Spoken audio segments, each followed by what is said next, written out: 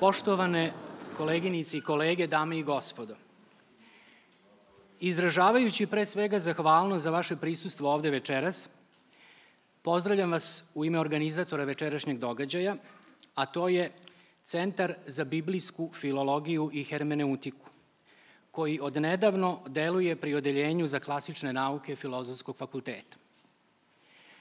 Kako je iste ove 2021. godine i osnovan naš centar i ugledao sveta najnoviji prevod Starog Zaveta na srpski jezik, smatrali smo da ovu lepu koincidenciju treba da pretočimo u večerašnji događaj, kojim ćemo s jedne strane akademskoj i široj javnosti predstaviti naš centar kao jedinstvenu naučnu instituciju svoje vrste u Srbiji, a s druge, kroz razgovor kompetentnih sagovornika, osvrnuti se na istorijski važan događaj pojave prvog srpskog prevoda Starog Zaveta sa jevrejskog izvornika, koji je uradio protojerej Stavrofor dr. Dragan Milin, redovni profesor Pravoslavnog bogoslovskog fakulteta u penziji. Nažalost, iz objektivnih razloga izostaće najavljeno učešće u večerašnjem razgovoru autora prevoda, o kome će se, uprkos toj okolnosti, razgovor voditi. Sa osobitim poštovanjem pozdravljam vrhovnog rabina Srbije, gospodina Isaka Asijela, koji će nam, zahvaljujući svojoj najprisnojoj vezi s tekstom Jevrejske Biblije, pomoći da u večerašnjem razgovoru što potpunije sagledamo važnost pojave prevoda ovoga teksta na naš jezik. Inače, gospodin Asijel je ne samo naš gost, on je u izvesnom smislu i domaći ovde, budući da je za naš fakultet vezan studijama na odeljenju za etnologiju i antropologiju. U ime Centra za biblijsku filologiju i hermeneutiku u večerašnjem razgovoru sudelovaće profesor dr. Vojin Nedeljković, koji je kao znalac starojevrejskog jezika, što je prilično redko među klasičnim filolozima i u svetskim okvirima, najkompetentniji sagovornik na temu prevoda jevrejske Biblije na srpski jezik. Tokom prezentacije odabranih odlomaka iz prevoda profesora Milina pomoći će nam Isidora Tolić, asistentkinja na Odeljenju za klasične nauke. Osnivanje Centra za biblijsku filologiju i hermeneutiku od samoga začetka dobilo je svesrdnu podršku Uprave Filozofskog fakulteta, u prvom redu samoga dekana, profesora Daniela Sinanija, koga su iznenadne obaveze sprečili da prisustuje razgovoru na temu koja nas je večeras okupila na ovoj tribini. Tako da će vam se u ime dekana i uprave fakulteta obratiti prodekanica za nastavu, docent dr. Nataša Jovanović Eisenhammer. Dobroveče svima. Izvolite. Veliko mi je zadovoljstvo što mogu da vas pozdravim ispred Filozofskog fakulteta, ispred uh, dekana profesora Sinanija, ali i cele uprave. Uh, veoma veliko zadovoljstvo što mogu da vam se obratim večeras. I uh, takođe da podelim sa vama zaista ne, neizmerni entuzijazam što je na samom početku mandata možemo da konstatujemo osnivanje novog naučnog centra. Profesor je već rekao, dakle, Centar za biblijsku filologiju i hermeneutiku pri Odeljenju za klasične nauke – I moram potpuno lično da kažem, dakle kao religiolog takođe veliko zadovoljstvo što mogu uh, upravo sa ove govornice da vas u ovom svojstvu takođe pozdravim i poželim srećan rad ovom novom centru. Ovo je, čini mi se, najbolji način da centar predstavi svoju delatnost. Pretpostavljam da će biti reči i o planovima i o projektima koje su započeti ili će tek biti započeti i realizovani, i budući da je filozofski fakultet, dakle, primarno nastavna, ali ne samo nastavna, nego i naučna e, institucija, ovo je najbolji način da upravo i taj aspekt e, našeg rada inoviramo i dalje razvijamo. Te dve stvari su svakako konvergentne, tako da verujem da će ovaj centar biti i mesto u kome će se studenti i studentkinje okupljati i dalje razvijati svoja e, znanja. Takođe, budući da je tema takva, dakle, iako centar e, pripada odeljenju za klasične nauke, e, po prirodi stvari ova tema je interdisciplinarna i ceo naš fakultet krasi ta karakteristika interdisciplinarnosti, tako da verujem da će se to prelamati i kroz e, rad centra. I da ne bih ja više dužila, dakle, još jednom želim vam svima ugodno veče i zanimljive razgovore večeras, a nadam se da će ovo biti samo lep početak budućeg rada na u centru, a naravno, da kažem, imate punu podršku uprave u daljim projektima. Prijatno. Još 1912. godine, jedan od velikana našeg fakulteta i srpske klasične filologije, Veselin Čajkanović, u jednom svom javnom predavanju na univerzitetu, založio se za to da se počne sa čitanjem Biblije kao svakog drugog literarnog dokumenta iz antike, kao teksta koji je predmet filološke analize. Na tragu i toga Čajkanovićevog davnašnjeg zalaganja, koji umeđu vremenu nije dobilo odgovarajući odjek, osnovan je Centar za biblijsku filologiju i hermeneutiku, kao izraz potrebe da se u našoj akademskoj sredini konačno započne sa svestranim i naučno utemeljenim izučavanjem Biblije sa filološkog stanovišta. Kada je reč o biblijskoj hermeneutici, koja je takođe deo naziva našeg centra, a pošto ćemo večeras govoriti o jednom prevodu Biblije, treba napomenuti da je hermeneutika ne samo nastala kao metoda tumačenja svetih spisa, nego je izvorno na prvom mestu označavala prevodilački postupak. Naime, grčki glagol hermeneuein kao i njegov latinski ekvivalent interpretari, standardni je termin za prevođene i to ono doslovno, ad literam, kako je inače hijeratska literatura u antici i ne samo u antici po pravilu bila prevođena. Znamo da je prevođenje svojevrsna kulturna misija, a prevođenje Biblije i više od toga, kada se uzme u obzir njen sakralni status – Sa kašnjenjem u odnosu na druge kulture tipičnim za naše prilike i podneblje pojavio se ovaj prevod jevrejske Biblije na srpski. Razlog tome, između ostalog, treba svakako tražiti u činjenici koja je opšte zapažanje, da u srpskoj sredini tradicionalno za Bibliju i njeno čitanje i njeno proučavanje nikada nije vladalo osobito zanimanje. Jednako tako u našoj akademskoj sredini prevođenje Biblije kao tema nije dobilo mesto koje pripada u intelektualnoj i kulturnoj istoriji. Tako da nije dovoljno istraženo ni sve što se tiče postojećih srpskih prevoda Svetog pisma. Neki prevodi šta više prećutani su ili ignorisani, kao oni Aleksandra Birviša. Ovo su razlozi zbog koji smo želeli da na prevod jevrejske Biblije profesora Dragana Milina bude usmerena pažnja naše akademske javnosti odmah po njegovom pojavljivanju. Prvo što pada u oči pri listanju ovoga izdanja Biblije jeste to da je ovaj novi prevod objavljen kao deo diptiha sa prevodom Novog Zaveta Emilijana Čarnića i da s tim prevodom deli mnogo crta. Na prvom mestu to je ekavica i savremeniji jezik, pogotovo u odnosu na jedini dosadašnji potpuni prevod Starog Zaveta na srpskom Đure Daničića. A što se vidi pri izbegavanju imperfekta, izbegavanju inverzije, odabiru leksike u skladu s postojićim jezičkim stanjem, na primer logor umesto Daničićevog oko, okola, uopšte u težnji za većo čitljivošću, prohodnošću i jasnošću u odnosu na Daničićev prevod. Pa je tako knjiga Levicka prevedena sa knjiga o sveštenicima. U prigodnom predgovoru autor prevoda je kratko saopštio da je kao izvorni koristio kritičko izdanje Biblija hebraika Stuttgartensis. Dakle, kao i kod Aničića, preveden je takozvani uži kanon, to jest jevrejska Biblija, što podrazumeva i numeraciju glava i stihova koje se ponekada razlikuju u odnosu na verzije koje su bliže srpskoj tradiciji, na primer u numeraciji psalama. Zadržana je tradicionalna onomastika, čak i kad su se umeđu vremenu ustalili novi oblici, kao što je lično ime Jelisej, koje je u ovom prevodu ostalo kao kod Daničića Jelisije. U celini ovaj prevod je spoj tradicije i težnje za približavanjem biblijskog teksta današnjim čitaocima, savremenijim jezikom i stilom u odnosu na Daničićev prevod. Može se takođe reći da se sa ovim diptihom prevoda Starog i Novog Zaveta preslikala situacija koju smo imali u 19. stoleću sa Vukovim prevodom Novog i Daničićevim prevodom Starog Zaveta. Naime, Vukov prevod, objavljen 1847. godine, imao je intenciju da obezbedi narodnom jeziku status književnog i time imao modernizacijsku ulogu, dok je Daničićev prevod nastao deseta godina kasnije već bio izraz konzervacije Vukovog jezičko-stilskog rešenja. Baš kako se čini da je to ovaj prevod Starog Zaveta profesora Milina u odnosu na Čarnićev prevod Novog Zaveta na savremeniji srpski jezik iz 70. godina prošloga stoleća. Toliko od mene u ovom uvodnom delu našeg večerašnjeg razgovora.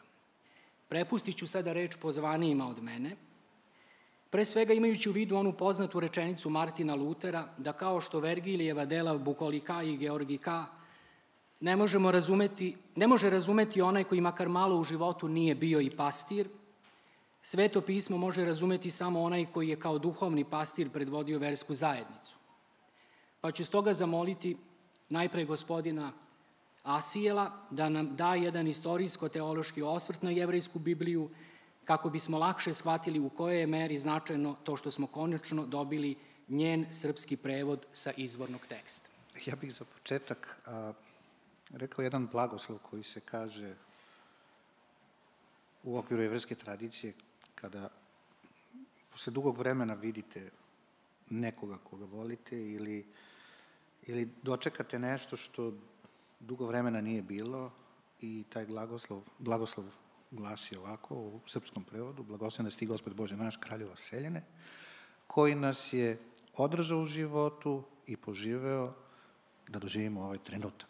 I vi kažete amen. Ovo je upravo jedan takav trenutak koji zaslužuje ovakav blagoslov. Ja ću reći nekoliko misli o načinu kako ja doživljavam prevode. Ja spadam u jednog od velikih eh, poštovaoca Daničićevog prevoda, zato što kod njega čak red reči u rečenici je gotovo identičan u hebrejskom, a čini mi se da on nije prevodio sa starojevreskog. 51. psala. Gle ti istinu voliš u duši, utisni mudrost u mene, pokropi me isopom i bit ću čist. Umi me i bit ću belji od snega, pruži mi radost i veselje, da se obraduju kosti koje si polomio. Odvrati lice svoje od grehova mojih, sva bezakonja moje izbriši. Načini mi Bože čisto srce i duh postojan obnovi u meni. Nemoj me odbaciti od lica svoga i duh tvoj sveti nemoj uzeti od mene. Vrati mi radost spasenja svoga i učvrsti me duhom postojanim. Poučavat ću bezakonike putevima tvojim i grešnici će se tebi obratiti Oprosti mi krv prolivenu, Bože, Bože spasitelju moj, i jezik moj će klicati pravdi Tvojoj. Otvori, Gospode, usne moje i usta moje objavljivaće Ti hvalu. Ti žrtve ne želiš, da Ti prinesem žrtvu, Ti ne bi primio.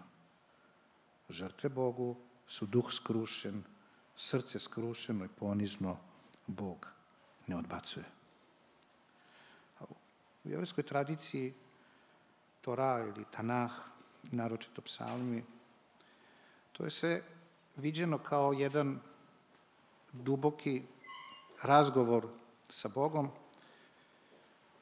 Bog je zapravo pisac celokupnog Mojsijevog petoknjižja i sve ove bogonadahnute knjige i ta jedna intimna dimenzija kada uzmete i čitate uh, prevod, Prvo, što se tiče jezika, ovo je veoma lep jezik i on teče. A, ovaj psalam je inače pokajnički psalam.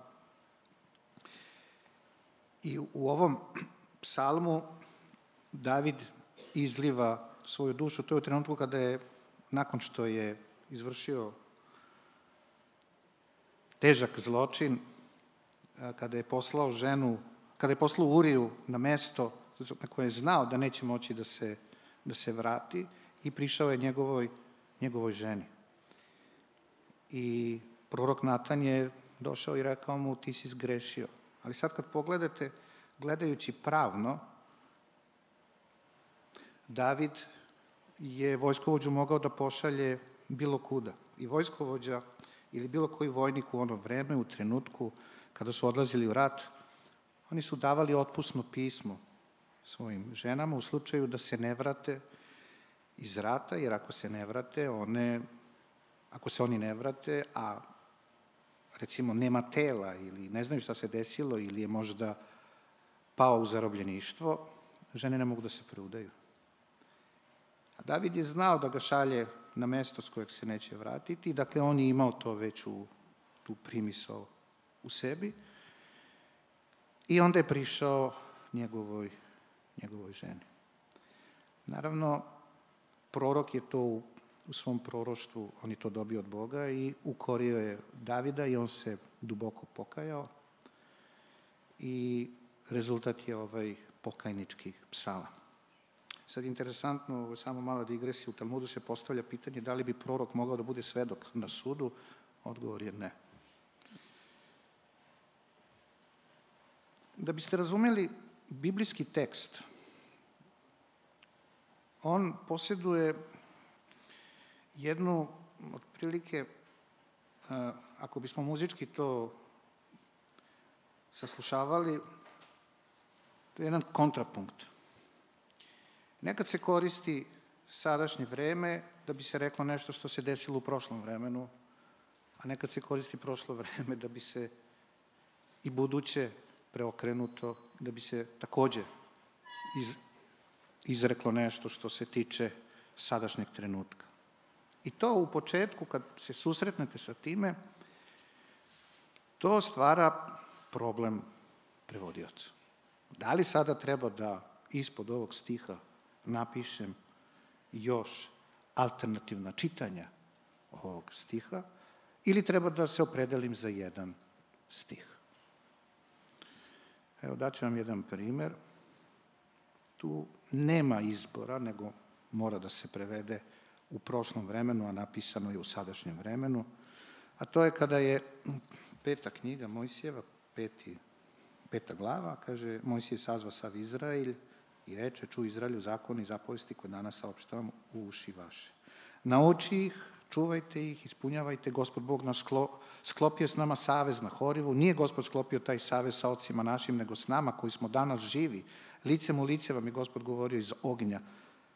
I sad kaže, ja sam tada stajao između gospoda i vas, da vam prenesem reč gospodnju, jer ste ste vi bojali ognja i niste se popeli na goru. On je rekao, ja sam gospod Bog tvoj, koji sam te izveo iz zemlje egipatske iz kuće robstva. E sad vidite ova rečenica, ja sam tada stajao između gospoda i vas da vam prenesem reč. U biblijskom tekstu to u sadašnjem vremenu. I sad, kada čitate, na jednom nivou to je priča, nešto što se desilo. Ali u jednom ličnom susretu sa Bogom, to dobije jednu potpuno drugu dimenziju. I jedan rabin prevodi ovaj stih na sledeći način. Ja je stajao između gospoda Boga i vas. To jest, ja stoji između gospoda Boga i vas. I dalje, kad ste govorili o hermeneutici, on sada iz te rečenice, koje je zaista u sadašnjem vremenu, on izvodi sledeći zaključak i kaže ja, to jest imidž koji smo stvorili o samima sebi, stoji između gospoda Boga i vas. I sad odjedan put taj tekst koji je antički tekst, on odjedan put rezonira krajnje savremeno. I savremeni čitaoc jedan put može da vidi, čekaj, pa ovo je poruka toliko direktna meni danas i ima čak i jednu duboku psihološku dimenziju, psihoanalitičnu dimenziju. I tu možete da vidite u biblijskom tekstu jednu napetost koja se nalazi, jednu tenziju koja postoji u tekstu i savremenom životu. Vidite, slučaj Davida, ovo je naravno e, primer koji je posle u Talmudu raspravljano u okviru pravne rasprave, da li prorok može da bude svedok na sudu, odgovor je ne. I recimo ovog primera koji govori o čoveku koji duboko osjeća jedan trenutak egzistencijalni, čita tekst i jedan put iz jedne priče, iz nekog istorijskog kazivanja, on se jedan put nađe u jednoj potpuno drugoj realnosti. Takođe, kada je u pitanju onaj čuveni početak kod prvog greha. I kada ga pita, gde si? Gde si, Adame? Gde si? A on kaže, sakrio sam se jer sam zgrešio i tako dalje, a ko ti je to sve rekao i tako dalje.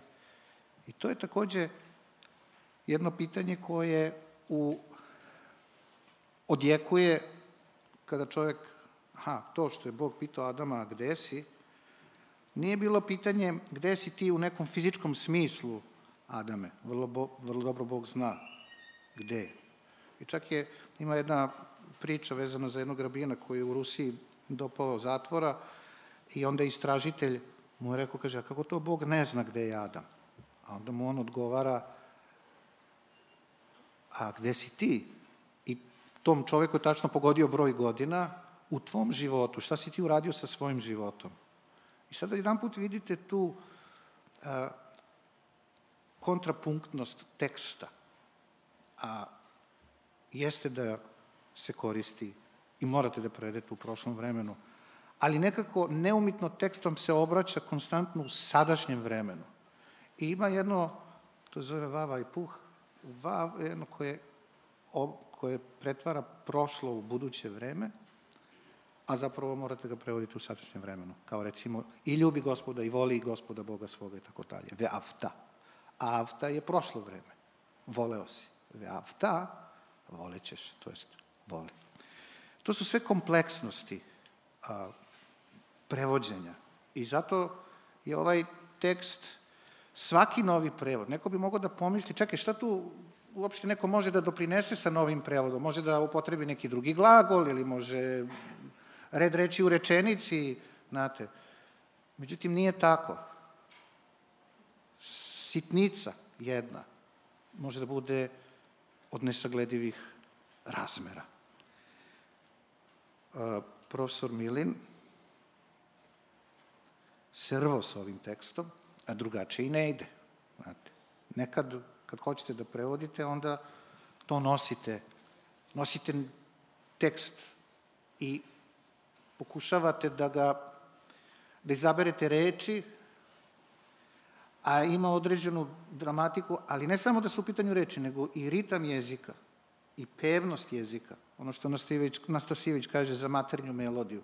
To je ono što je bitno u svim ovim prevodima, a, kažemo savremeni prevodi, ali sa, prevod Biblije ne treba da bude toliko savremen do banalnosti. On mora da zadrži jednu arhaičnost.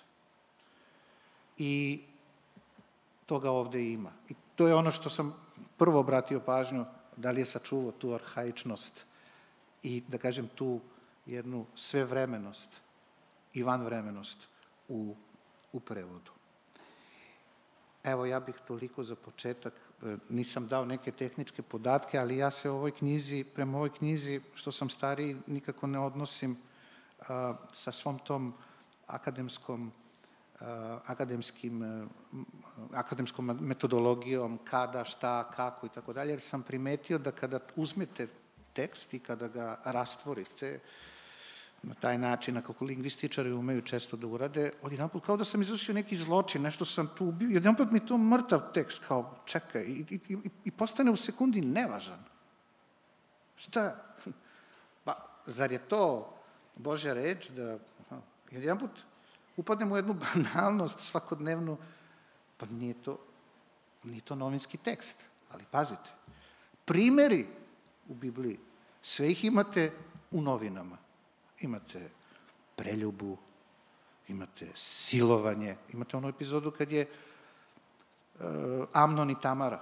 On je obožavao Tamaru i onda dovedite i tako dalje, on je ljubi, a onda kada je izvršio silovanje, onda neće ni da je poglede, kaže, izbacite je. Ali, u tim situacijama i kroz te situacije proverava tačno ono što je bitno, a to je, a to jeste Božja reč i komunikacija sa čitaocem. I kad analizirate to, dolazite do nesagledivih stvari. Baš kao što je ovaj rabin rekao, ja stoji između gospoda Boga i vas, to je glavni ometač da vi možete da se prepustite Bogu. Znači morate da u potpunosti a, svoj imidž kojem se klanjate, a niste ni svesni da se klanjate svom imidžu, on vas udaljava. Dakle, to je ono što je fascinantno sa ovim tekstom. Evo toliko za početak, pa bit će diskusije. Hvala. Hvala. Ja ću zamoliti koleginicu Isidoru Tolić da nam na početku nešto pročita i čitaće nam još jednom u, jednoj kasnije, u jednom kasnijem trenutku. To je jedno mesto iz prve knjige o carevima, početak glave 19.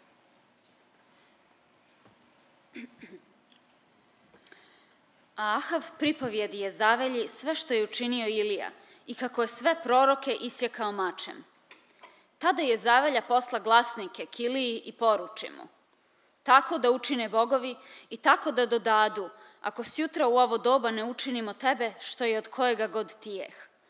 A on, videći to, usta i otide duše svoje radi i dođe u Virsaveju Judinu. I ondje ostavi momka svojega. A sam otide u pustinju dan hoda. I došav, sjede pod smreku i zaželje da umre.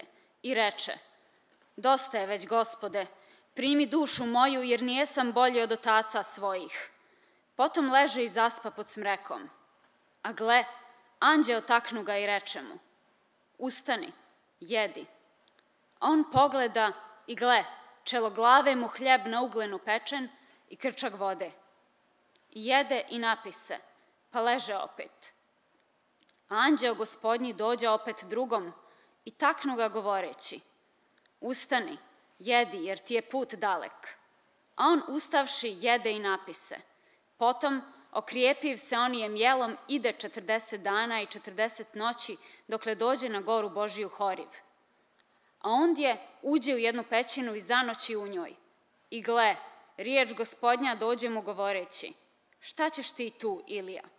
A on reče, revnovah veoma za gospoda Boga nad vojskama, jer sinovi Izraeljevi ostaviše zavjet tvoj, tvoje oltare razvališe i proroke tvoje pobiše mačem.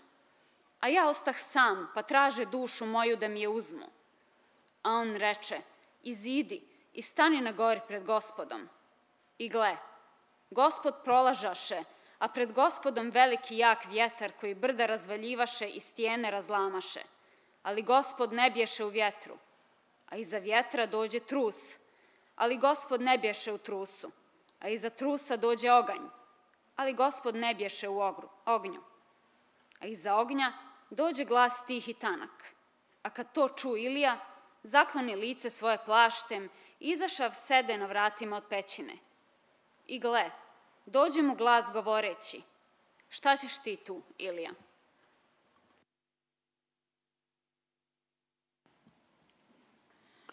Ovo što smo čuli je dakle 19. glava prve knjige o carevima po Daničiću. To je zato što od Daničića sticajem okolnosti koje su istorijske, povoljne, mora da se pođe. Daničić je jedan klasik srpskog jezika i stila, to je jedan monumentalan tekst. Kao svaki spomenik, on je neizbežan i nije ga uvek lako ni jednostavno gledati.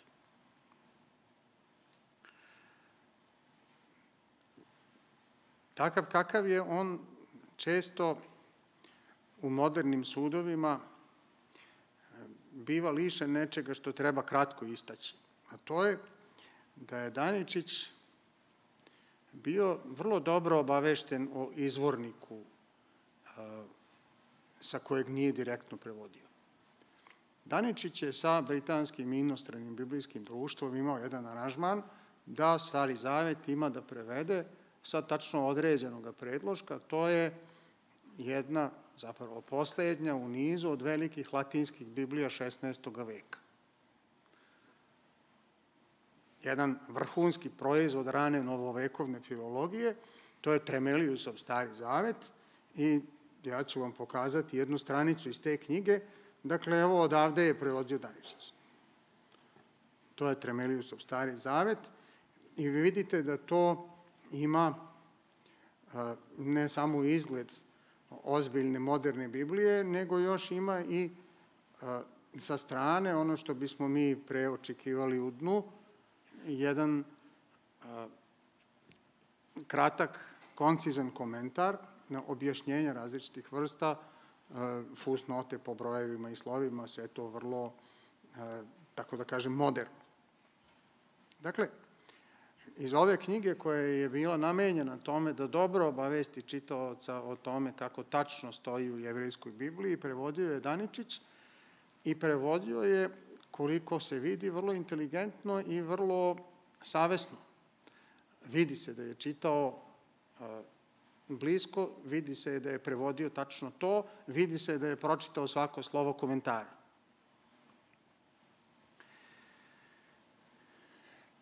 Međutim, Milojnom Stari Zavet je ipak to što jeste. Nova knjiga, prvi put sa izvornika i to treba istaći, knjiga koju daje jedan čovek veoma pozvan za taj posao. To kod nas nije uvek slučaj. Kod nas u raznim poslovima, pa i u poslu oko knjiga, često pozvani oklevaju, a za to vreme nepoznati pišu i štampaju. Profesor Milin, međutim, cela veka radio Stari Zavet i onda pod kraj svoje profesorske karijere uzeo da ga prevede. To je jedan kolosalan posao i on je posle dosta godina strašno napornog rada uspeo da ga privede kraju. U nekim sretnijim akademskim i književnim sredinama to je normalno, kod nas to je izuzetno. Osim toga, profesor Milin, i to se vidi, imao je, onako kako se to i radi, u vidu Daničića iz stiha u stih. I može se videti e, da je njegov prevod zapravo jedno veliko opredeljivanje šta od Daničića treba da ostane, a šta od Daničića treba da se menja. On je, to se vidi iz teksta, a i sam je o tome govorio, preduzeo pre svega jedno osavremenjivanje teksta u jezičko-stilskoj ravni. On ga je da moderno kažemo, demokratizovao. Učinio ga je nešto čitkijim, pristupačnijim čitaocu koji nije navikao na arhaizme. I on ga je, može se i to reći jer se osjeća, demonumentalizovao. Osim toga, ne manje važno, on je dao, to se na svakoj stranici vidi, jedan vredan i bitan naučno-stručni doprinos. On je e, svoj prevod saobrazio savremenom čitanju i savremenom tumačenju jevrejske Biblije. Ja sada molim Isidora da pročitate ovu istu glavu, odnosno ovih istih 13 stihova 19. glave prve knjige o carevima u prevodu profesora Milina. Ahav ispriča je zavelji sve šta je učinio Ilija i kako je mačem posekao sve proroke. Tada je zavelja posla glasnika Iliji i poruči. Neka mi učine bogovi i neka dodaju, ukoliko sutra u ovo doba ne učinim svojim životom ono što si ti učinio sa njihovim životima. Videći to, on ustade i otide da bi spasao život. Dođe u Virsaveju Judinu i ostavi tamo svoga slugu. Sam on ode dan hoda u pustinju i sede pod jednu smreku. On požele da umre i reče, Dosta je, gospode, primi dušu moju jer nisam bolji od otaca svojih. Potom leže i zaspa pod smrekom. Kad gle, anđeo ga dotače i reče mu, ustani i jedi. On pogleda i gle, kraj uzglavlja, pečena pogača i krčak vode – On pojede, popi i opet leže. Anđeo gospodnji dođe i drugi put. Taknu ga i reče, ustani i jedi, jer je dalek put pred tobom. On ustade, pojede i popi, pa okrepljen tim jelom išao je 40 dana i 40 noći do Božje gore, Horiva. Tamo uđe u pećinu i tu prenoći. I gle, dođe mu reč gospodnja govoreći – Šta ćeš ti ovde, Ilija? On odgovori. Trudio sam se veoma za gospoda, Boga Savaota. Sinovi Izraeljevi odbaciše zavet tvoj, žrtvenike tvoje razvališe i proroke tvoje pobiše mačem. Jedini ja ostadoh, a oni traže da me ubiju. Reče mu, izađi i stani na goru pred gospoda. I gle, gospod prolazaše i vetar silan i jak razveljivao je brda i rušio stene – ali gospod ne beše u oluji. Posle vetra bi zemljotres, ali gospod ne beše u zemljotresu. Zatim dođe oganj, ali gospod ne beše u ognju. Posle ognja dođe tihi i blagi povetarac. Kad to ču Ilija, pokri lice ogrtačem, izađe i stade na ulaz pećine. I gle, dođe mu glas govoreći, šta ćeš ti ovde, Ilija?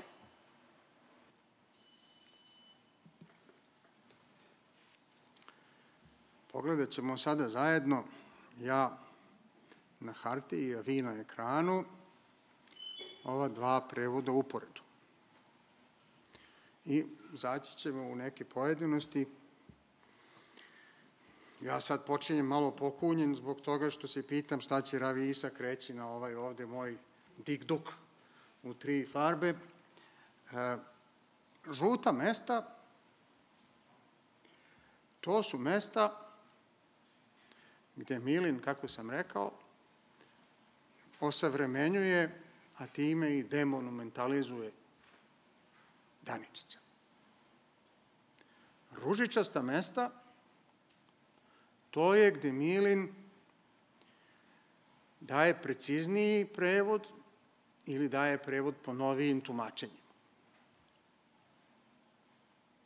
Najzad, naranđasta mesta, to su neka mesta koja bi po mojoj proceni trebalo dotirati.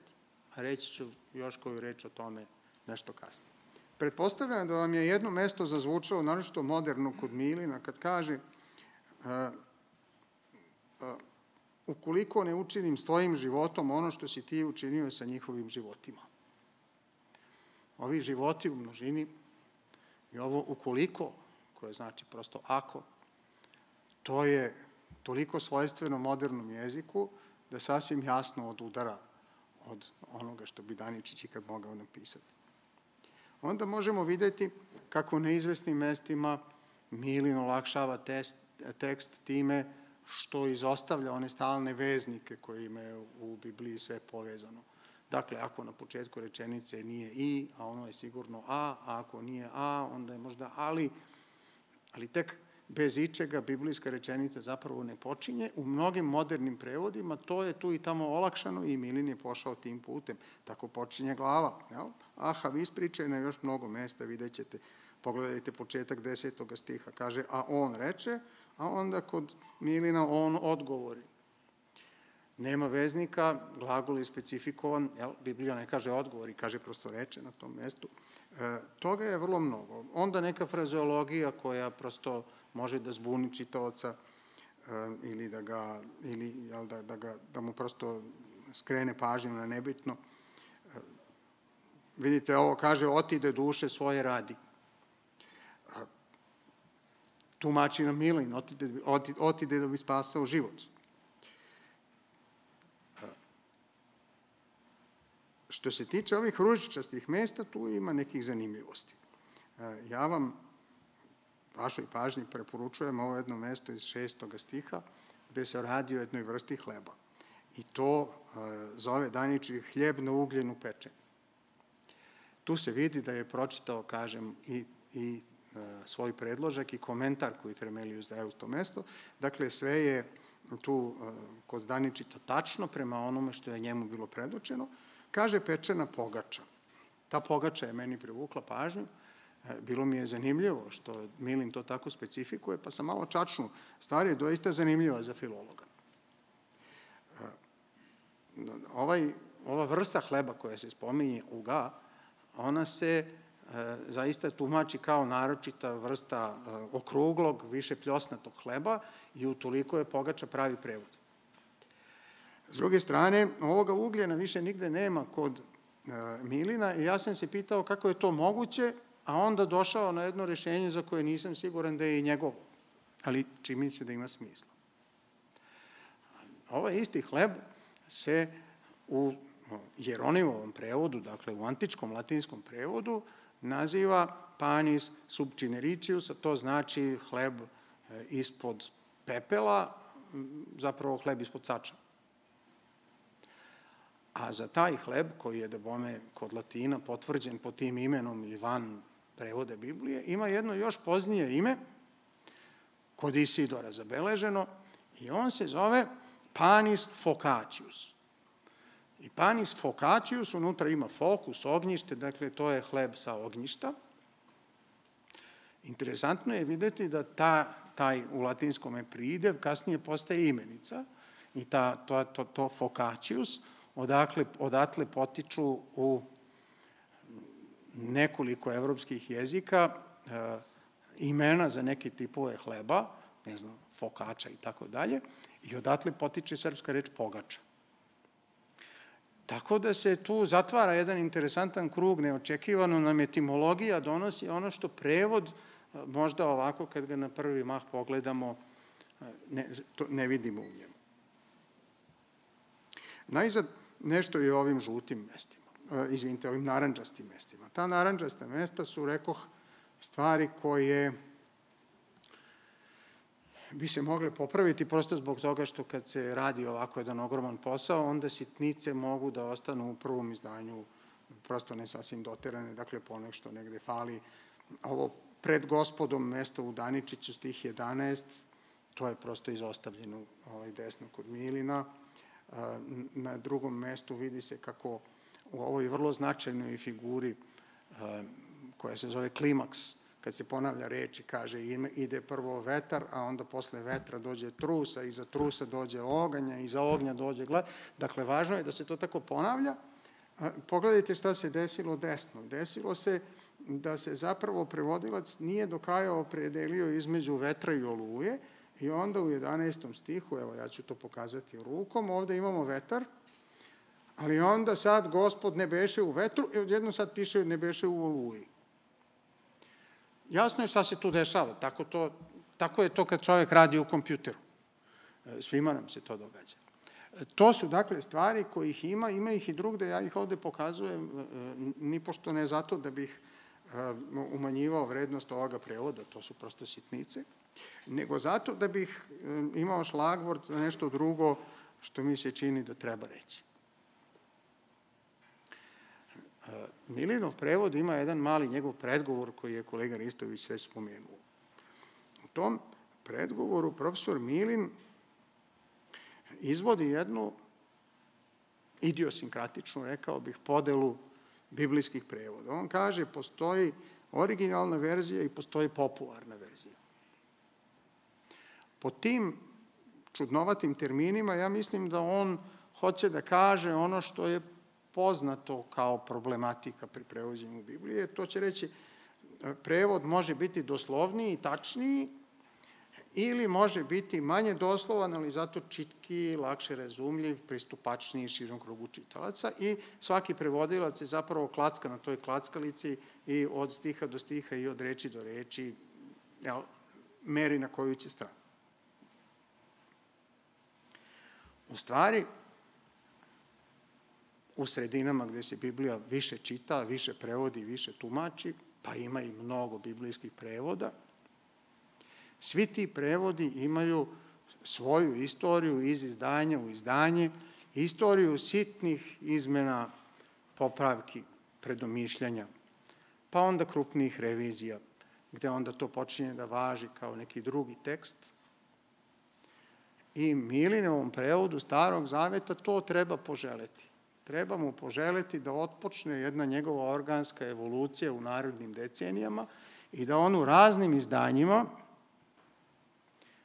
glasi svaki put sve doteranije i da najzad posluži, jer čini mi se da je on ovako kako je intoniran i ovako kako je ujedinjen sa Čarnićevim prevodom, odista neobično srećno, on je po samoj svojoj prirodi podesan da najzad dobijemo studijsku Bibliju. Studijska Biblija, to je ono što srećstiji narodi davno imaju, a najsrećstiji najbogatiji u mnogo verzija, dakle prevod opremljen uvodima, komentarima, prosto propratnim materijalom koji čitaoca upućuje na razne strane i vodi ga čak relativno daleko, čini od njega zaista nekog veoma obaveštenog i mnogo olakšava razumevanje biblijskog teksta. Nije naime sve u tome da ti od teksta načiniš nešto razumljivo, nešto je i u objašnjenju, nešto je i u komentaru, nešto je i u predgovoru.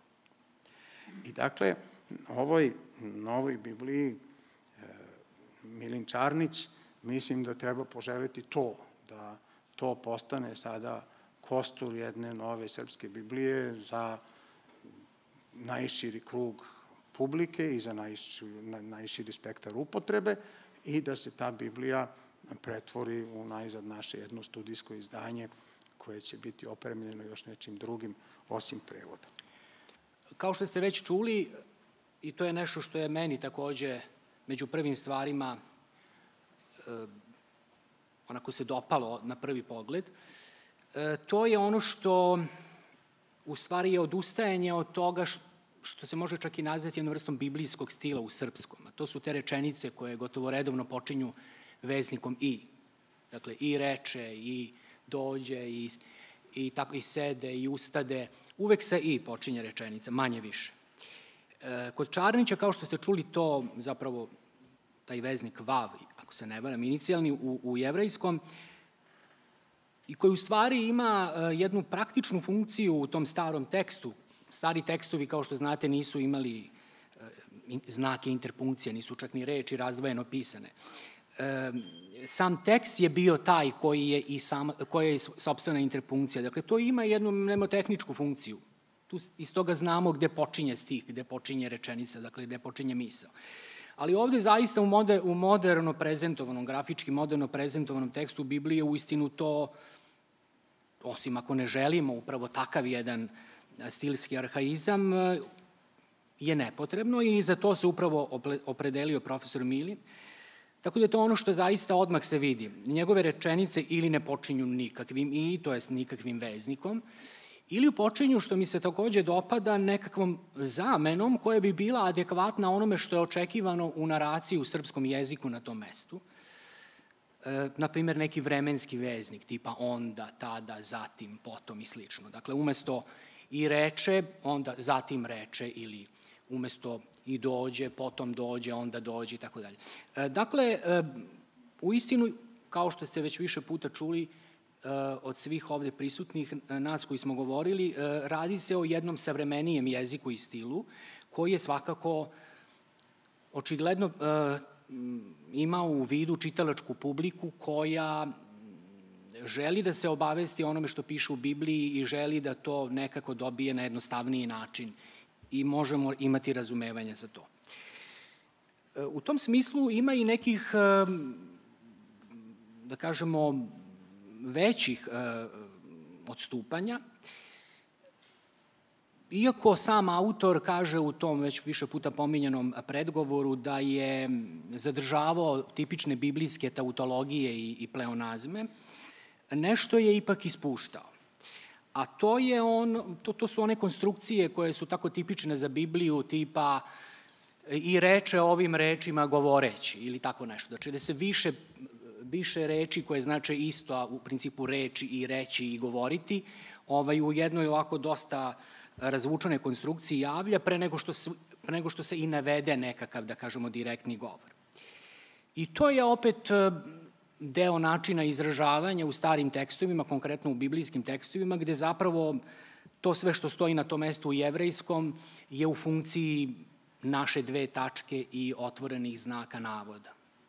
I autor, pošto inače piše dve tačke i otvoren znak navoda, kako, kako mora u srpskom tekstu, uh, u, u, u današnjem srpskom tekstu, on prosto samo kaže i reče.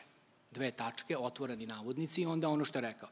Dakle, on se, on se opredelio zaista u nekim slučajima za dosta radikalno napuštanje onih, uh, on, on, onih principa kojih se držao, videli smo Daničić, i hvala kolegi Nedeljkoviću na ovom zaista uh, sjajnom uporednom prezentovanju dva prevoda, iz kojih smo videli zapravo e, neke od tih razlika. Evo i ovo, na primer, e, ta vrsta intervencija koje zaista e, čine tekst bliži modern, modernom, da kažemo, jezičkom i stilskom ukusu. Od nekih lepših mesta, priznajem, zaista teško je sada izvojiti sve i naravno mi smo svi čitali ovaj prevod i nezavisno od, ove večer, od ovog večerašnjeg razgovora, ali za ovaj razgovor posebno. Ja sam se opredelio da vam navedem jedno mesto koje mi se čini gde je zaista prevodilac najnovijeg srpskog prevoda Stara u zavet, odnosno da budemo precizni jevrejske Biblije, e,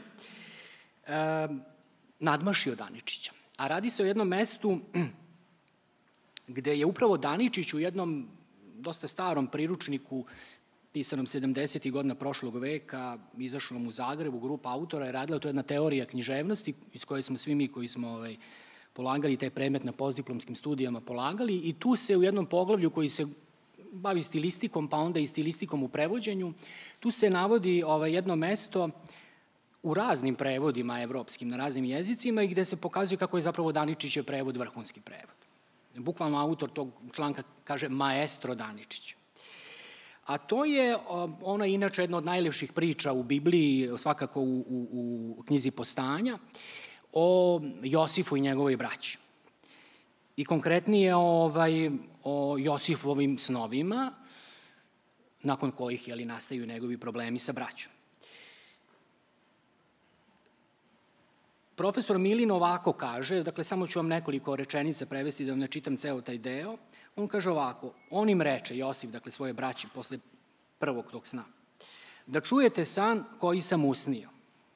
Kao vezivali smo snopove usred polja i gle, moj snop se uspravi i stade pravo, a vaši snopovi su išli unaokolo i klanjali se mome snopu. Onda nekoliko stihova kasnije, Potom opet usni san i ispriča ga braći svoje.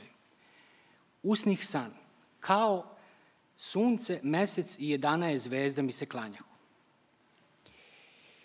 Šta je meni ovde se učinilo jako zanimljivim? To je zapravo ova načinska partikula kao, koje nema u originalnom tekstu. Ja ne baratam tim tekstom jevrejskim, nažalost, ali može se uz pomoć raznih interlinearnih ovaj, izdanja videti šta tačno piše u jevrejskom. Dakle, tu nema ništa, tu je klasična parataksa. Dakle, usnio sam san. Sunce, zvezde i mesec mi se klanjaju. Ovde, dakle, prevodi da stavlja jedan, jednu, jednu rečcu, koja međutim je upravo ono što mi radimo kada nekome pripovedamo o svom snu. Mi to upravo tako kažemo. Usnio sam kao ja i tako dalje. E, To je vrlo lepa jedna, da kažemo, jedno rešenje, a ja sam se onda, primetivši to, setio upravo toga mesta gde se hvali Daničićevo rešenje, gde kod Daničića kaže poslije usni drugi san i pripovjedi braći svojoj govoreći, usnih opet san, a to se sunce i mjesec i jedana zvijezda klanjah u meni. Dakle, Daničić dodaje ovaj spoj veznika i demonstrativne zamenice, a to bez ikakve inače funkcije, u suštini jezičke, ali to je jedan stilogen, jedan dodatak ili koji ima stilsku funkciju i to je pohvaljeno i to zaista lepo zvuči, u, pogotovo u, toj, u, u tom tipu, da kažemo, srpskog jezika starinskog. Znači, usnih san, a to sunce, mesec i zvijezde mi se klanjahu. Um, ali Milinovo rešenje, ne samo što je novije, ono zapravo po meni bolje pogađa to. Ako je već prevodilac dao sebi slobodu, a zašto ne bi, jeli, da predstavi sad tu e, psihološku, jer ovde u stvari i Daničić kao i očigledno Milin želi da tu, e, svu tu za, svu tu, zato, svo to čuđenje i svu, to, svu tu neobičnost toga, jeli, nam dočara jezikom. Generalno, možemo reći da smo dobili prevod Biblije koji, koji je tačniji od, jeli, od postojećih prevoda Staroga Zaveta – ja sam neka mesta za koje znam da su problematična e, inače i proveravao. E, I to je, na primer, onaj četvrti stih 104. psalma. On, kod Milina stoji, on čini vetrove glasnicima svojim. Kod Daničića je čini anđelima svojim. I to jeste jedno, jedno problematično mesto koje je pogotovo problematično s obzirom na septuagintalnu tradiciju gde je vrlo naopako to ovaj, rešeno i onda i u poslanici evrejima isto tako loše ovaj, citirano. Dakle, ovde zaista to znači. Dakle, Bog čini vetrove svojim glasnicima i tu je reč, jeli, jevrejska reč malakav, jeli, koja inače se prevodi sa angelos u, u grčkom, um, ovde u onom osnovnom značenju, dakle, nečije glasnika i zaslanika, I to je, to je, to je dobro shvaćeno. Dakle, ne prevodi se uvek ista reč na isti način, kao što u starim prevodima. Dakle, nije uvek, jeli grčko angelos, anđeo, kao što i nije, dakle, prevodi se od situacije do situacije. Neki idiomi su takođe koji nisu jasni modernom e, čitaocu, pogotovo koji, su, koji zapravo potiču iz e, jevrijskog jezika, takođe prilagođeni.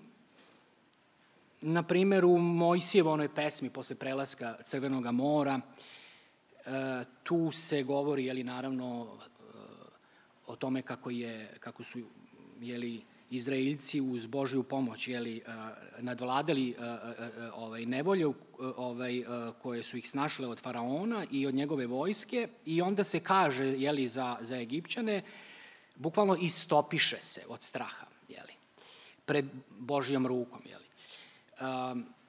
Na mogu jevreski.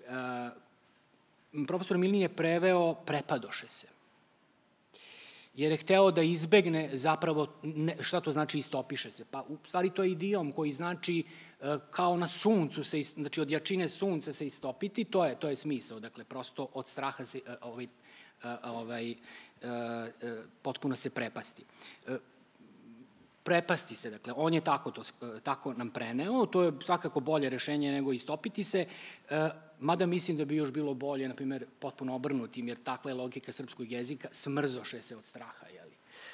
U svakom slučaju, a, zaista vidi se da je a, prevodilac a, ovoga najnovijeg srpskog prevoda Starog Zaveta zaista se a, veoma potrudio i a, utoliko neke, da kažem, stvari koje sam, razume se, čitajući takođe primetio, a koje mislim da, da, o kojima mislim da treba da se razmisli, da se u nekom svakako ponovljenom izdanju, to smo videli, profesor Nedeljković je rekao da, da nam treba što više novih izdanja i to izdanja koje bi bila dorađivana, na kojima bi trebalo razmišljati o nekim, nekim mestima koja po meni se čine kao nedovoljno dobra. Prvo, to šabat, jeli, jevrejsko, koje se javlja i kao terminus tehnikus za, za praznik, ali se javlja kao etiologija za objašnjenje, jeli, to je dan odmora i često jedno uz drugo ide. On kad se tako javi, on kaže dan odmora, subota. I tako i kod Aničića je subota, ali ja mislim da je to potrebno prevesti sa sabat prosto to nije subota, prosto nije, nije stvar o suboti, nego radi stvar o prazniku koji ima svoje ime. Dakle, kao što je Paska ostala Paska u svim prevodima, jer je to tehnički termin, mislim da tako treba i da ostane sabat. E, drugo nešto što, je, što sam takođe primetio kao, kao jednu vrlo, da kažemo, ovaj, savesnu preciznost prevodioca, to je da je e, zapravo ono što je kod Daničića svuda zavet, dakle peo tu da stari zavet kao i novi zavet, a to nije, jeli, najtačnije i zapravo apsolutno ne odgovara onom što stoji u jevrejskom, što bi nam mogao svakako malo kasnije objasniti više gospodin Rabin. Dakle, to je sada savez, ali ima nedoslednosti, negde se i dalje zadržalo zavet. I sad ja to nisam proveravao zašto je to tako, ali koliko sam uspeo da vidim, radi se o istoj jevrejskoj reči. Dakle, da li je to sad da nedosledno posledica nekak, nek, nek, nekakvog previda ili slično.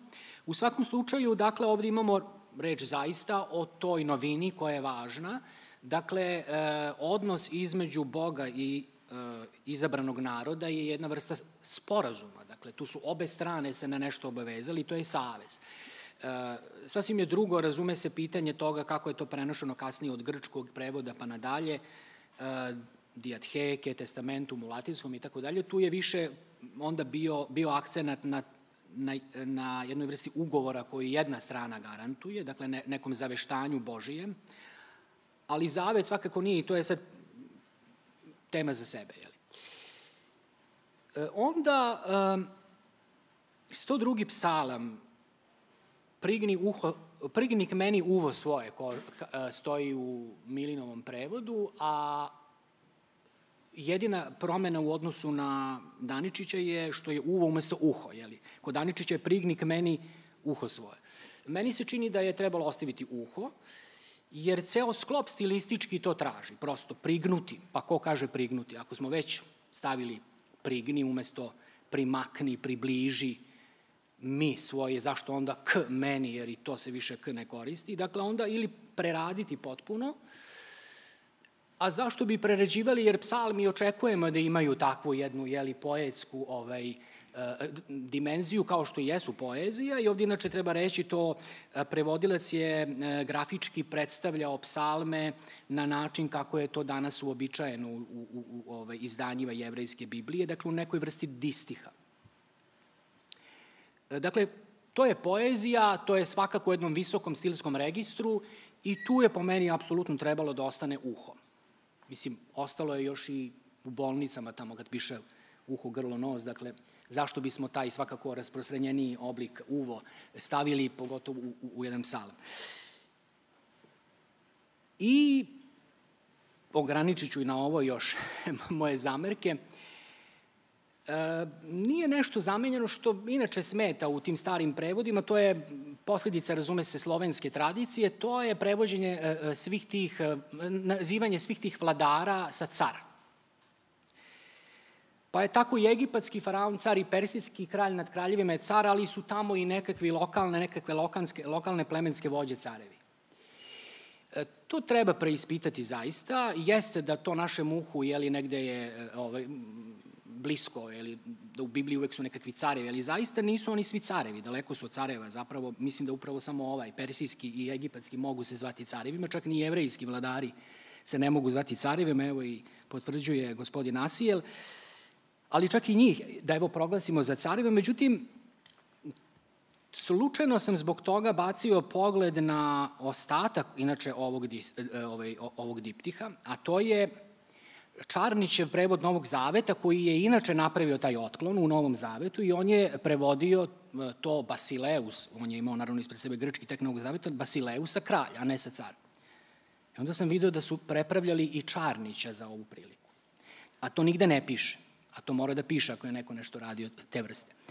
Dakle, tamo je odjedan put u Matejevom evanđelju car Irod, kao i car Avgust u Lukinom evanđelju. U stvari, u Lukinom evanđelju imate i cara Iroda i cara Avgusta.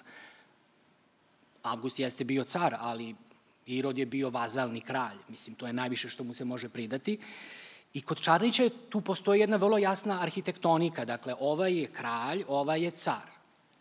Ovaj je Basileus u grčkom, ovaj je Kajsar. I on je se opredelio za to rešenje. Naprimjer, sinodski prevod ima car, ali je zato Avgust Česar. Koliko god da to je neobično, ali dobro. I vuče tamo na ove Habsburge, ove na Kajzere, ali svejedno, nekakva je, da kažem, poštovana ta logika stvari, dakle, da, da to nisu vladari istoga ranga. Dakle, e, ima stvari na kojima e, bi se moglo još poraditi da dobijemo još bolji prevod od ovoga, ali ono što svakako možemo reći to je da je naša e, biblistika i biblijska filologija zaista obogaćena ovim najnovijim prevodom Starog Zaveta i svakako možemo reći da smo zahvalni profesoru Čarniću na njegovom neizmernom trudu i naravno žao nam je što nije bio večera sa nama da podeli s nama ova naša razmišljenja o njegovom velikom i važnom delu. Evo, knjiga proroku Joni, ona biljka, ovde je prevedeno Tada Bog upita i ono da li je pravo da se zbog biljke ljutiš, a ta biljka je ricinus. I stvarno, kad uzmete i pogledate, definitivno to je biljka, ricinus ima ono latinski naziv, oblik i to, i, ali verujem da zbog raznih konotacija na ricinus nije preveo ricinus, znate, u tom slučaju nije bio do kraja, a, i, i, i to, to je razumljivo, znate. Jer to je isto kao kad, ono, svirate nešto i jedan put ima neki uh, sled uh, kao lestvice i onda nekad umetnik umesto da svira muzičko delo počne zvuči lestvica usred dela. Znate, zazvuči nešto onako malo pomalo prazno. I, I s te strane on vodio, zato kažem da se on rvao sa tekstom. Naravno, ima tu nekoliko stvari, kao recimo, na primer, ovo čuveno i bi veći, bi jutro, dan prvi. Tamo bukvalno stoji dan jedan. E sad, zašto je to sve bitno? To je bitno zbog određene egzegetike.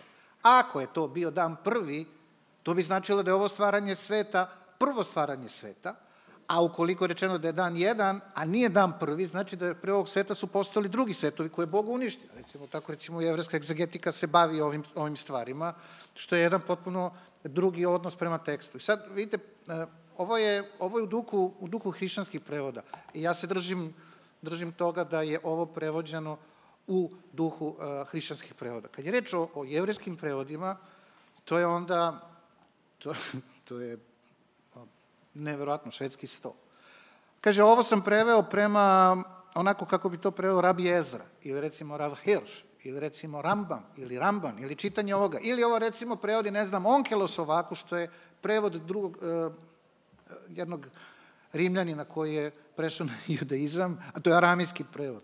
Pa ne znam, Targum Jonatan, ili recimo Midraš ovo vidi ovako. I sad jedan put imate, čekajte, pa to isti tekst.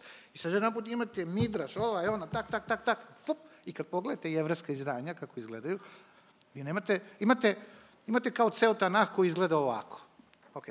Međutim, onda imate Sefer Berešit, prva knjiga, postanje. I sada ona ovolika, dođe deblja od ovog Tanaha. Zašto? Zato što on tamo napiše u početku Bog stvori nebesi i zemlju, da, da, I onda na sledećih deset strana idu sve sitni komentatori, Raši, Ibn Nezara, Nahmanid, Orahaim i tako dalje, tak, tak, tak, tak. I sad vi, gde smo sad? Upravo zato što je u pitanju egzegetika. Naravno, onda ova knjiga bi bila jedan ono skup knjiga sa svim ovim tumačenjima. Sad da vidite, ovo što, još jedna mala opaska.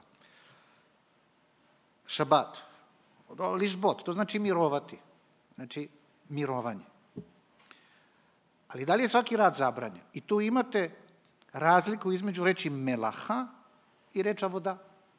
A voda je rad koji je mehanički. Može da bude i robski rad. Reč eved je takođe rob. Prema tome, to je rad koji je, da kažemo, a, ne zahteva neku umešnost. Koji je rad zabranjen subotom? Melaha. I tačno imate razliku u tekstu kada govori melaha, a kada govori voda. I šta je zabranjeno i šta nije zabranjeno. Znači, to su sad već neke, neke finese. E sad vam kažem, postoji razlika između hrišćanskih i jevreskih uh, prevoda. Hrišćanski prevodi uglavnom idu, Stari Zavet je priprema za Novi Zavet i ceo narativ je u tom smeru. Jevrijski prevodi uh, su, ovo je sve Božja reč i malte ne svaka, svako ono slovo što ste rekli, a, i to, vidite. Ima reč ele, ovi, ovo. A kad piše ve ele, to znači da postoji organska veza sa prethodnim delom, a ako počinje sa ele, onda znači da je to potpuno nova, nova priča, nova, nova epizoda. Znate, e sad, to su sve te egzegetske stvari koje su unutar teksta i e, to vam je, kako, imate masu komentatora, masu ljudi koji... I, i što je najinteresantnije, svako od njih može da opravda svoje stanovište, gramatički, kada čita. I to je ono što je otvara jednu neverovatnu lepezu različitih tumačenja i to je ono što je, što je suština. Dakle, ono što, je, što bi bio sledeći korak, hvala profesoru Milinu za ovom, ovo je stvarno kruna njegovog rada i ovo je, zaista kažem, hvala Bogu, što je njega poživeo da ovo završi i što mi danas ovde predstavljamo to i to možda bude odličan podstrek, a verujem da kako stvari budu išle dalje i dalje, da će onda polako izlaziti, ne znam, knjiga postanja, pa onda lingvistička analiza i tako dalje, pa sve one egzegetske stvari koje proizlaze iz toga, pa druga knjiga i tako dalje. Eto, toliko. Hvala. Kada je, kada je Karadžić objavio svoj prevod Novog Zaveta 1247. godine u Beču, 2000 primjeraka, Danjić je napisao da je Vuk Karadžić podigao ogroman spomenik srpskom jeziku i kulturi. A kakav je tek spomenik podigao Danjić, koji daleko bolje poznavao srpski jezik, od Vuka Karadžića, s tim više kad imamo na da, da je Karadžić je prvo sadržavao 30 turcizama, koje on sam navio u svom pregovoru, dok Dančić je prvo ne sadrži ni jednu stranu reč. Dakle, Đura Dančić je bio sin sveštenika Jovana Popovića iz Novog Sada, a Dragan Milin je bio sin sveštenika, to je sin je sveštenika Lazara Milina, ugledan profesora pravoslavnog bosovskog fakulteta koji je napisao čitav opus iz, iz biblijske fundamentalne teologije, iz, tačnije iz apologetike. Sada, da reći ovo, kada već govorimo o tim prevodima, uh, uh, kako se kaže, teško se ljudi odlučuju na nove prevode Svetoga pisma. Evo, mi smo uradili novi pregled Svetoga pisma Novoga Zaveta, Sinodska komisija objavila ga 1984. godine. Teško je on zamenio Buklo prevod, ali Buklo prevod je ušao u srce, u krv narodu. Tako isto, Dačić je prevod ušao u opštu upotrebu i treba će decenije, decenije da Dragana Biljina prevod dođe, da bude u upotrebi u sve vreme. Dovoljno je ponekad samo umašiti jednu reč, pa svi ljudi kažu nije dobar prevod.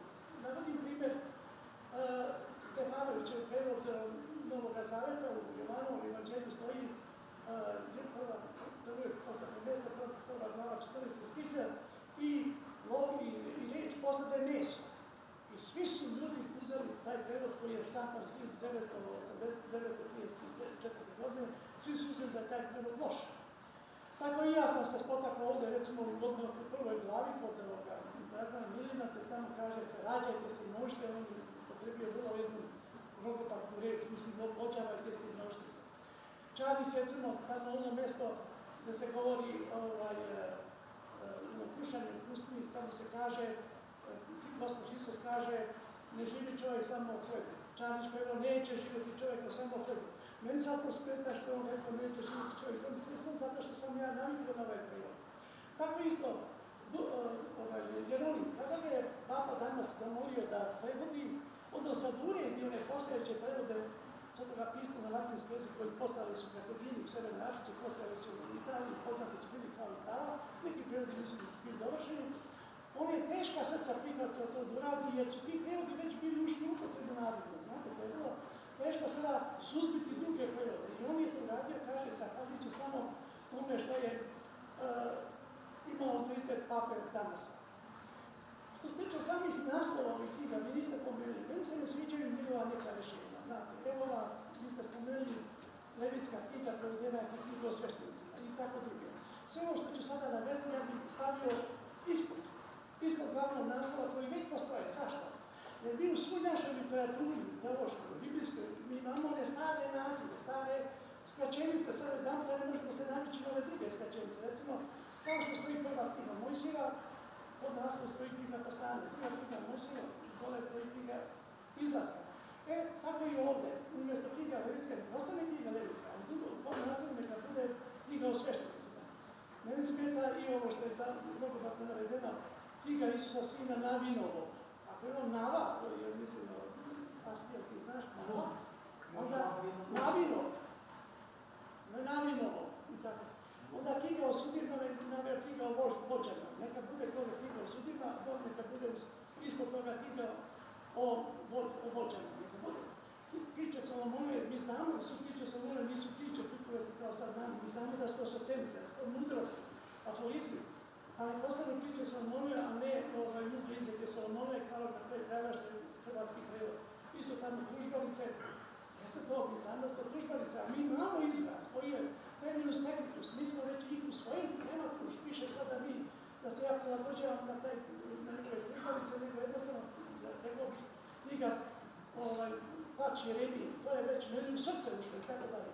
Eto, to je, ali ne znam, ovaj, evo, Asije neka kaže, zašto je profesor stavio knjiga o proroku Jovi i knjiga o proroku Danilu. Pogledajte. Da, to je knjiga proroka. Ali vidite, ovako dolaze nove generacije. Da. to je to, vreme ide i ako je, uh, šta je, šta je plus, a šta je minus? Naravno da je vama, da je plus meni, navikli smo na neke stvari, ali ipak, osavremeniti i tako i Suština je onoga da vi uđete u narativ. A kada uđete u narativ, ušli ste u dijalog sa Bogom. A ono trenutka kad to krene, kad počne, kad počne da se roje pitanja oko teksta, onda ste vi ušli u priču i onda ćete tražiti odgovor. I onda ćete na te odgovore dobiti pitanje, pa će novo pitanje da se rodi i, i tako ulazite zapravo u dijalog sa Bogom. To je ono što je a, suština. Nove generacije, ovo je za, za novo vreme, za nove generacije i To je ono što vredi, znate. Dobro, to je stvar. Slažem se, slažem, slažem se sa profesorom Rakićem u nekoliko, samo ipak bih rekao da je ovde zaista prisutna izvesna, izvesno balansiranje između starog i novog. Dakle, kažem, ovo i dalje stari novi zavet, a ne savez, ali unutra je, na primer, savez. Kao ovo što ste vi predložili. Dakle, zaista moglo, mogao je naslov da se ne menja knjiga, ali unutra da bude drugačije. Ali navići će se, kao što kaže gospodin Asijel, mi smo se navikli bili na bulevar revolucije, pa smo se sad već navikli i na bulevar kralja Aleksandra, a ko zna kako će biti za 50 godina. Dakle, navići će se oni za 50 godina na možda neki treći naziv. U ostalo, mnogi ne znaju da je to kralj Aleksandar Obrenović, a ne Karadžorđević i tako dalje. Znate, to je ovaj, to sa generacijama, to je uvek tako. Da, neko još je nešto želeo da pita, ovaj, evo izvolite. Imam pitanje, stilističko. Nisam nažalost imao dodir sa prevodom profesora Milina, međutim pitao bih vas, koji ste prezinjivali sami prevod. E, jedno pitanje u vezi prevoda biblijskih idioma koji imaju smisla i u bukvalnom prevodu, a zapravo imaju drugo značenje. Kao na primjer, nema Boga reći bez u srcu svom. Mislim, reći u srcu svom je resno znači pomisliti sebe. Pa tako, na primjer, i gospod koji ispituje srca i uvrede, ispituje zapravo misli osjećanje, što bi bio pravi smisao toga, srce i uvrede u srcu, međutim, naravno, samo po sebi ne znači mnogo, pa kada ste mogli prokomentarisati ovaj, na koji se način satim svoči prosto miran prevod. Ja mislim da je, da, da ovo je prvo pitanje za prevodioca, dakle, ovaj, ali koliko smo čitajući ovaj njegov prevod mogli da vidimo, to je ono što smo već i rekli. Dakle, on je tu negde balansirao, negde je nešto menjao, negde je ostavljao. Ja lično, kada bih prevodio, svakako bih gledao da ako je već cilj prevoda, a cilj ovog prevoda je bio, mislim da generalno bi trebao da bude što bolja komunikativnost, jeli, dakle, sa, sa auditorijumom. Mislim da neke stvari onda morate prilagoditi prosto jeziku na koji prevodite. Ne znam, evo, možda Možda kolega Nedeljković bi nešto dodao na tu temu.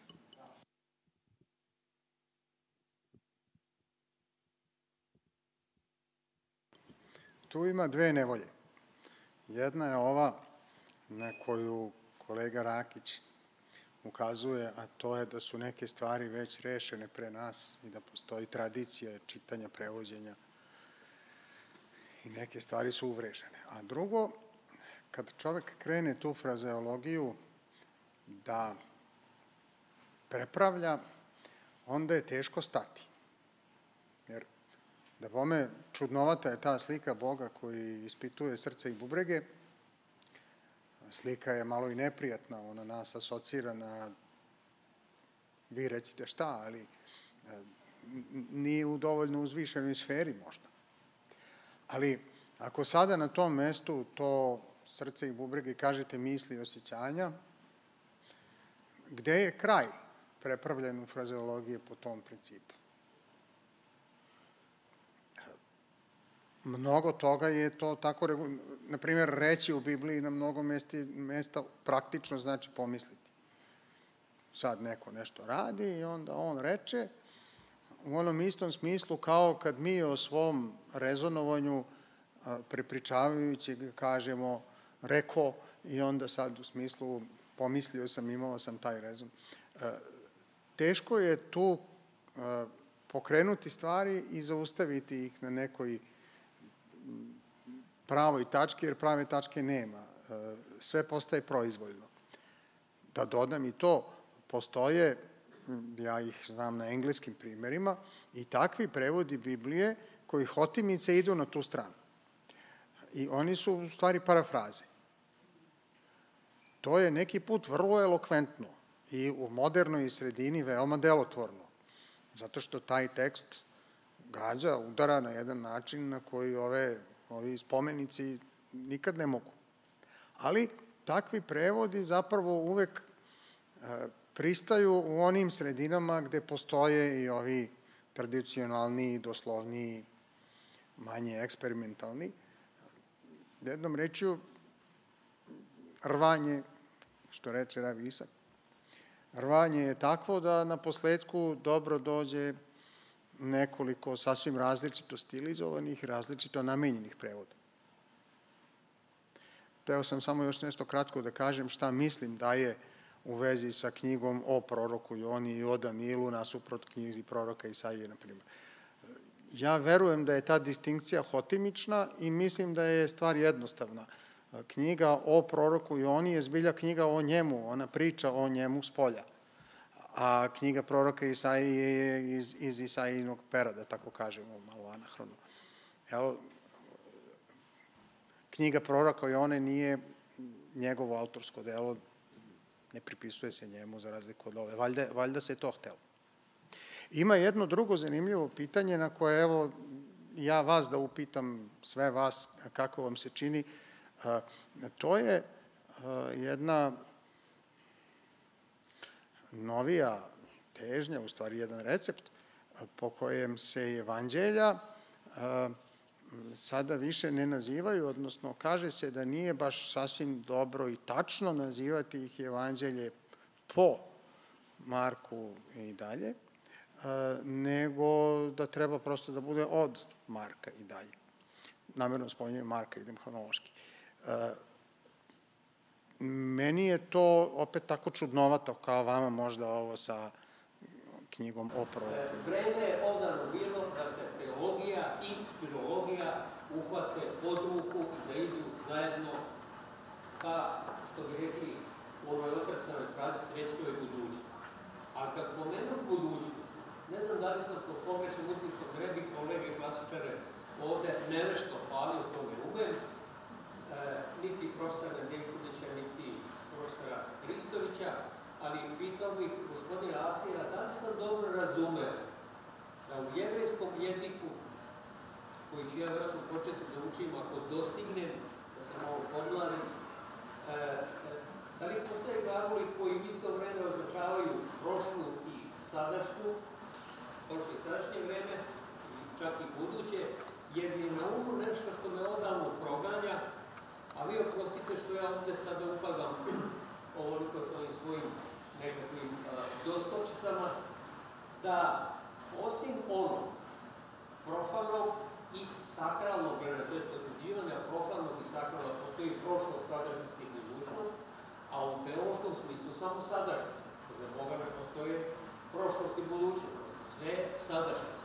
I negde sam, ne znam gde, pročitao, čini mi se, po mom mišljenju, najbolju definiciju koja kaže ovako, ne postoji prošlost, sadašnjost i budućnost, nego sadašnjost u prošlosti, sadašnjost u sadašnjosti, sadašnjost u budućnosti. Mislim čak, i time završavam, da bismo ovim i ovakvim tumačenjem mnogo dobili čak i za ono što zovemo svakodnevna uprava. Jer bismo izbegli to deljenje da smo u prošlosti bili, imali smo ne znam kakve predke, pa da smo otprilike oslobođeni sad da radimo bilo šta što valja, jer smo imali te zasade u prošlosti, ili obrnuto, da su nam preci bili loši, pa sad mi moramo da utrošimo i sadašnjost i budućnost, e da bismo nešto uradili kako valja i da bismo se opravili. Nemate taj pomoćni glagol biti i imati kao u ovim indoevropskim jezicima, bez obzira što ima infinitivni oblik, ono lihiot. Ali taj bio je, biti će i Bog kada ga Mojsije pita, on kaže biti ću koji ću biti. I to su sve permutacije tri slova, he, jud i vav. I to je ono što je fascinantno. Inače, u jednom jevrskom blagoslovu kaže se za nešto, sad se završio praznik Hanuka i kažemo Blagoslan da si Gospod Bože naš kralju Vaseljene, koji si učinio pravcima našim čudesa u dane one, u vreme ovo. I to je otprilike u potpunosti ono kako ste rekli. Ja bih teo za kraj, ako smo došli do kraja, da ovo je posledna knjiga Jeverske Biblije, knjiga proroka Malahije, gde Bog kaže da mi možemo njega da, da iskušavamo. A u čemu da ga iskušavamo? U tome što ćemo davati desetak i on će izliti veliki blagoslov na nas. I sada u prevodu profesora Milina, mislim da je dobro da završimo sa njegovim, njegovim prevodom. On kaže ovako, vi pitate u čemu da se vratimo? Smije li čovjek da vara Boga? Vi mene varate, pitate u čemu te varamo? U desetku u prinosu. Udarilo vas je prokledstvo jer me varate vi i svi varvari. Prvi put vidim u biblijskom prevodu reč varvari, a ima već na nekoliko mesta. Donesite sve desetke u skladište da bude hrane u domu mome. tada me iskušajte, govori gospod Savaot, da li ću vam otvoriti ustave nebeski, da li ću vam obilno blagoslov izliti. Zapretit ću proždrljicu da vam ne uništava plodove zemlje i lozu vinovu u polju, govori gospod Savaot. Svi će vas varvari smatrati srećnim, jer ćete biti zemlja voljena, govori gospod Savaot. Ja mislim da smo isrpli vreme i vašu pažnju. U svakom slučaju zahvaljujem vam na vašem prisustvu koje, ću, koje se slobodan da protumačim i kao vašu zainteresovanost i kao vašu podršku našem Centru za biblijsku filologiju i hermeneutiku i nadam se da ćemo se ponovo videti na još nekoj od tribina koje ćemo uskoro praviti na temu Biblije i njenoga e, prevođenja, njenoga uopšte čitanja, tumačenja i svega što e, ima veze sa svetim spisima judaizma i hrišćanstva.